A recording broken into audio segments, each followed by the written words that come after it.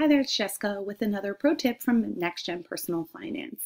So today I want to talk to you about exit tickets. So what I've done is I've navigated to our curriculum tab, I've chosen units, I've chosen managing credit, and then I've navigated to one of my favorite lessons in the semester course, Intro to Credit Scores. When I click here to view it in Google Doc form, what I'll get is the lesson guide. And you'll see down at the very last row, row seven here, um, that we close all of our lesson plans with an exit ticket. And basically there are three different ways that you can distribute that exit ticket to your students to have um, an assessment of what they've learned that day. So the first option is to go ahead and click here on the lesson guide, pop open the resource, and it displays as a slide.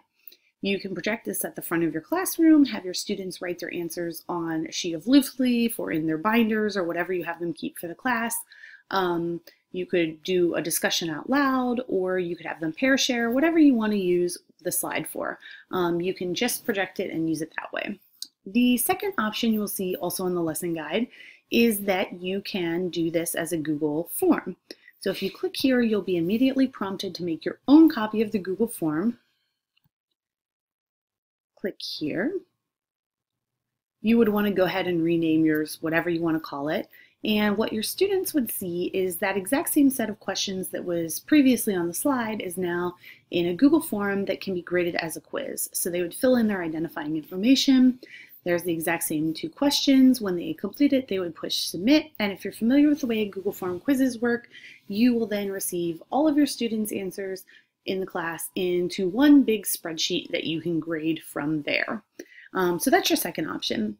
And then the third option is if you are teaching our full lessons, you may or may not want to give your students the student activity packet. If you click here, it'll open up the SAP and it's the exact same resources that are in the lesson guide, but now they're in a format where students have time or room, I'm sorry, to write their answers on the document. So if you scroll down to, to box seven, again, you'll see those exact same questions. And here you could either print this out and have your students um, answer with pen or pencil, or you can have them do it digitally and answer it electronically here.